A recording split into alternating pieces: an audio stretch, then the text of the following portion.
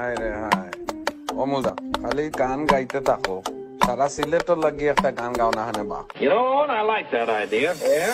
আইলারে নয়া দামান আসমানের উতেরা বিছানা মহামারী করোনা নিয়ে যারা নিয়মিত খবর রাখেন তাদের সময় কাটে কত দুশ্চিন্তায় আর এই ভাইরাসে আক্রান্ত অসুস্থ রোগীদের সেবা দিয়ে যাচ্ছেন তাদের সময় যে কত উৎকণ্ঠায় যায়, এটা হয়তো আমরা পুরোপুরি বুঝতে পারি না।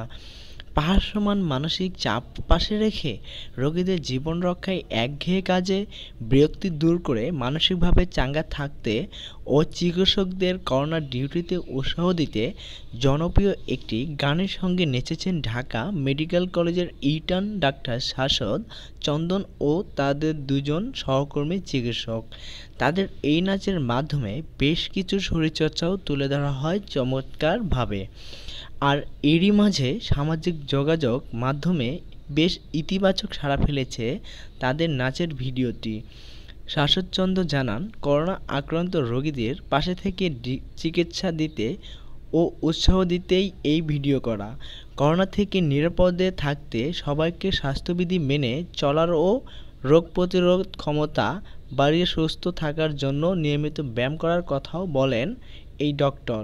ধন্যবাদ সবাইকে।